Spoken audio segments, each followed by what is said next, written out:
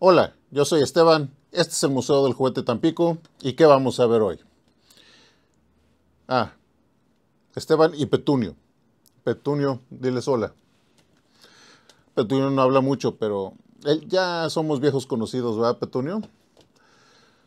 Con él yo hacía chistes en TikTok, pero como mis chistes son retro, lo más seguro es que nos iban a cancelar porque esta generación de hoy en día, ¿verdad, Petunio? No entiende el humor de que teníamos en los 80s y 90s y cosas de esas. Entonces dejamos de hacer los videos y estás de reemplazo de Ofelia, porque Ofelia no está, nos abandonó. Bueno, entonces como les decía antes de que me interrumpiera Petunio, este, hoy vamos a empezar ya a ver lo que es el, el armamento para el apocalipsis zombie. Este, Vamos a empezar con pistolas de vaqueros.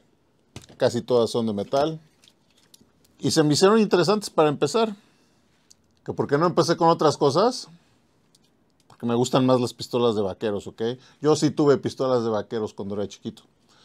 Y utilizaban pólvora. Y eran peligrosas. Y si le pegabas a tu hermana la podías descalabrar porque eran de metal. Pero sí te gustó, ¿ah? Sí. Entonces, Empecemos con las pistolas de vaqueros. Por supuesto que vamos a empezar con una de las menos interesantes. Y no por eso es la más fea. Bueno, no hablemos de interesante o no interesante. Lo que pasa es que esta es de plástico toda y está medio incompleta. Y el problema con estas pistolas, por lo general, es que uno nunca sabe quién las fabricó. Porque seguramente aquí venía la etiqueta del fabricante y no viene en absolutamente ningún otro lugar de la pistola, que en alguna época debió haber sido una pistola muy chida, ya no le sirve, bueno, medio le sirve, no, esto ya no sirve, ya le falta este pedazo de aquí, pero 100% plástico, está nada más haber hecho ruidito, eh, no es de dardos, no es de pólvora, ni nada que se le asemeje. Este, tiene su tornillote plano, eso significa que es viejísima y por lo que veo alguna vez estuvo pintada de plateado. Así es de que, bueno, este es el primer ejemplo que tenemos de una pistola, eh, así como de vaqueros, aquí en el museo.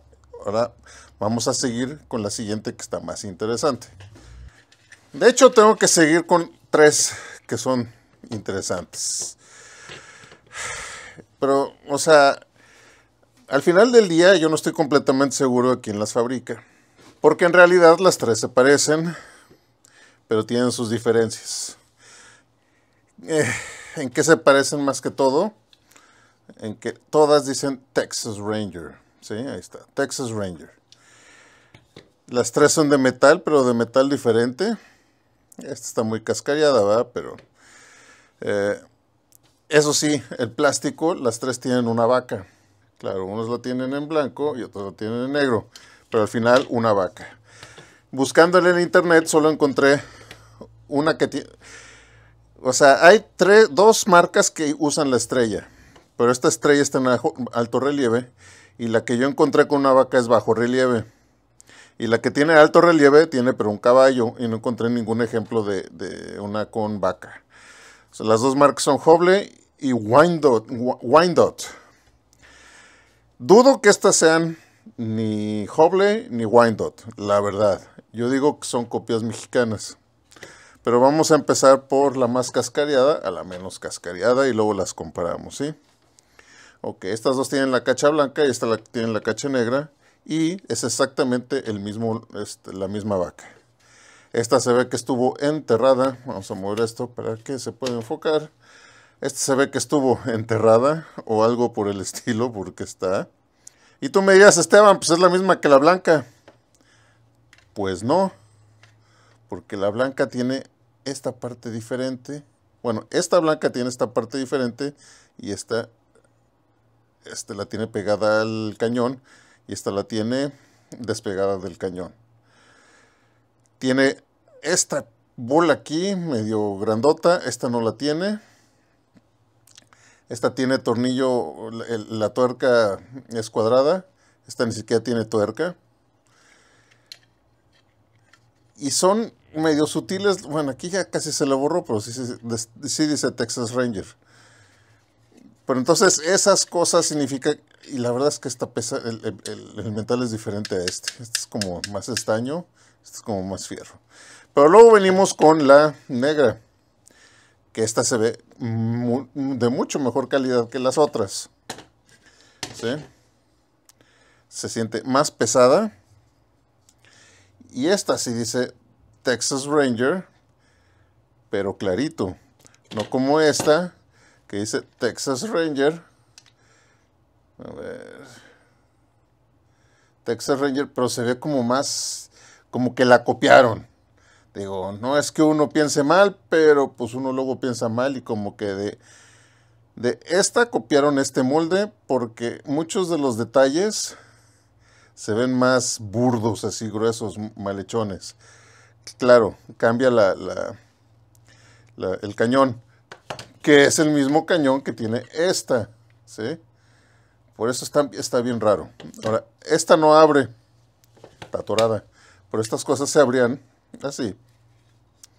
Este, y ponías aquí la, la pólvora. La pólvora es una, un papelito rojo que puedes poner aquí y explotaba. Y miren, el plástico aquí está más corrientito que el plástico de esta. Después se nota leguas. Entonces se me hace que esta es la que originalmente es la Texas Ranger. Este, Cap Gun. Y estas son las copias. Mi duda es por qué dos copias diferentes con cañones diferentes. Pero bueno. Son los tres ejemplos que tenemos de la Texas Ranger. Y ahora vamos por la que sigue, que a mí en lo personal es la que se me hace más interesante. Y hay que ser sinceros, no se me hace la más interesante porque es la más bonita. De hecho es un plástico más chavo. Eso que soy es el, este, ¿cómo se llama? El resorte donde metes tu eh, dardo. Plastimarks, ¿sí? Uno de los juguetes Plastimarks, Manufacturas Plásticas SA. Este, venía en bolsa de plástico. Eh, se nota que venía con ligas, que por supuesto ya se deshicieron. Y bueno, encontrar este pedazo de cartón dentro del plástico es poco menos que imposible. De hecho, aunque así, aún así nos llegaron varias, pero es hora de nada más exhibir una porque tiene exhibidas todas. Pero pues vas a decir, Esteban, se ve horrible con el plástico. Pero aquí tenemos una abierta, ¿sí? Entonces no hay problema. La podemos vivorear sin problemas. Les digo, es un plástico muy, pero muy corriente. De hecho, hasta el cromo, vamos a quitar esto de aquí. Hasta el cromo se lo con medio, bueno, no es cromo, es pintura, digo, ¿para qué le hacemos? Dice Target y dice Marksman. Ya traté de buscar el Target Marksman versión Marks Toy, si no lo encontré. De que tal vez sí lo inventaron los de Plastimarks. Eh, todo es pintura, son más que dos pedazos de plástico. Y como podrán haber visto, te vendían tu pistola y tu dardo. Ah, y es de la policía montada. ¿sí? No, no es de vaqueros, es de la policía montada. Un canadiense ahí, ¿eh? Es que para los canadienses del DF bueno, yo vivía en el DF en esta época, entonces me tocó de estas.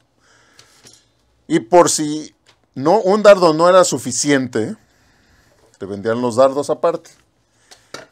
Esta es la pieza más interesante de todo esto, ¿sí? Más que la pistola, porque las pistolas vendían mucho.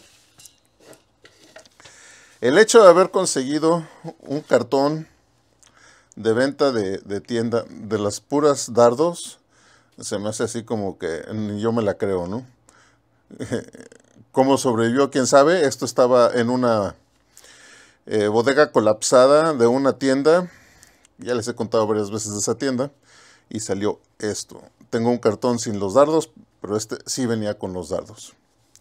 Entonces, aquí están tus repuestos de dardos. Ibas a la tienda y podías comprar un dardo, dos dardos, tres dardos o cuatro dardos para poder luchar más. Ahora te las venden en cubeta, pero antes éramos este, austeros. Era una y luego si tenías lana, juntabas para tu otro dardo. Era durable, dinámico, inofensivo y económico. Y en lo inofensivo ahí sí tengo mis dudas porque si me dicen que esto es inofensivo, eh, un ojo después, pues vuelves a leer esto de inofensivo y dices, ¿por qué no puedo ver con el otro ojo? En fin, es la pistola de la policía montada de Plastimarks, cerrada con su display de dardos extras. Por eso me gusta tanto esta pieza. Porque es la pistola más fea que tenemos de vaqueros, que no es de... Ah, bueno, por aquí sí, aquí sí hay un vaquero. Aquí no es la policía montada. Entonces, para la policía montada le ponías dardos de un vaquero, pero los, los cartones son los que están interesantes aquí. Y pues bueno, aquí tenemos otra pistola sin marca. Tuvimos que bajarle el brillo porque la cacha se perdía con el fondo. Entonces aquí tenemos otra pistola que la verdad no sabemos la marca. Sí tiene un número ahí abajo, 33489. Pero pues, quién sabe. Este, esta se abría así. Mira, y ponías tu papelito.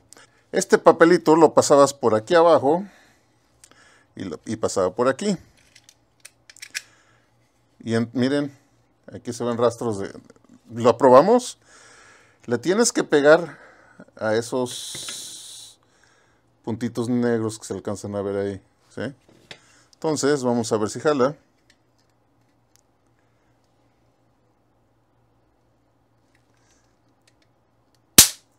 ¿Eh? ¿Qué hubo, les? Híjala. Vamos a echarnos otro.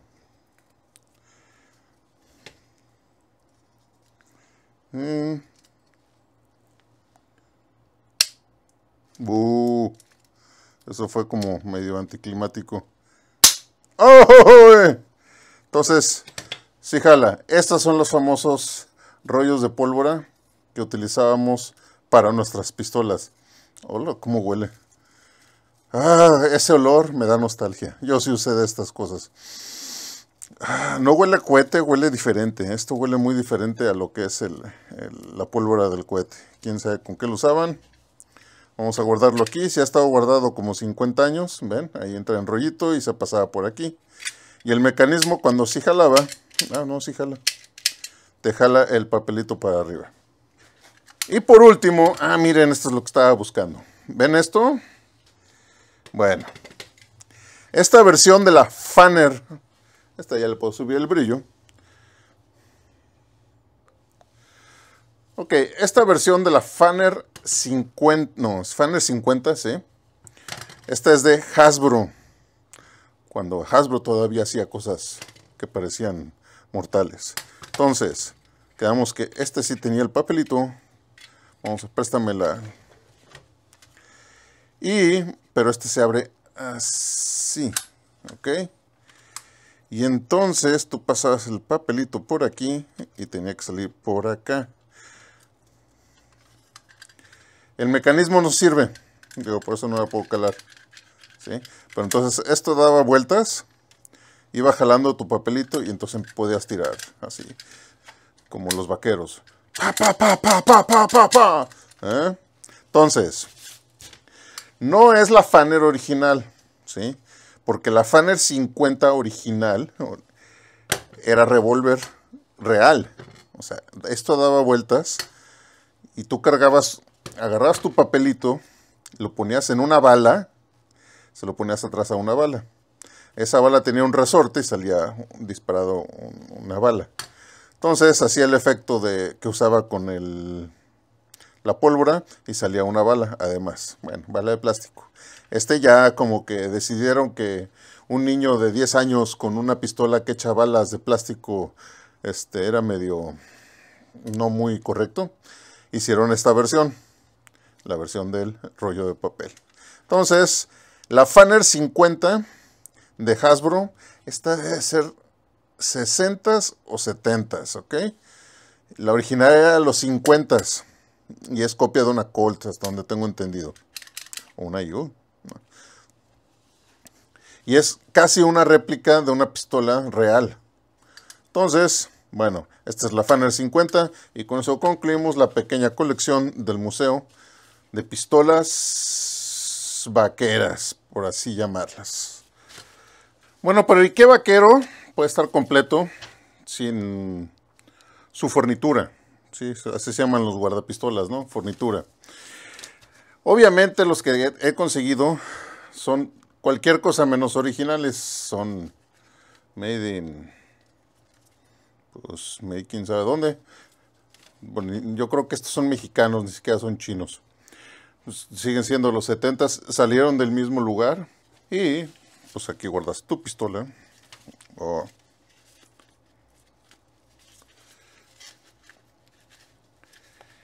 Y entonces ya podía ser el terror de, de la colonia, ¿no?